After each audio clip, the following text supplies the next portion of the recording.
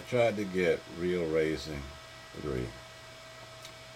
And this is what I'm getting for the for the uh, watcher for the TV.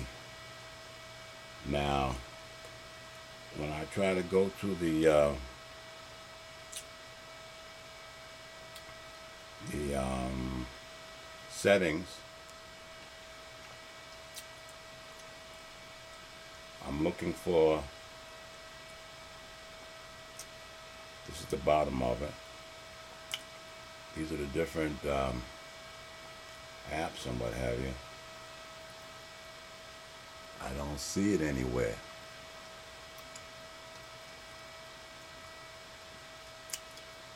Maybe you can tell me how I can get Real Racing 3 I'll make sure I keep it on uh, Wi-Fi wherever I go. Also, I was told if you hold it sideways,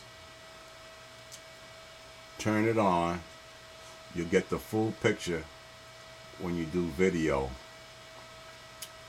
And if you download it to your computer and then to YouTube, you can get 1080p.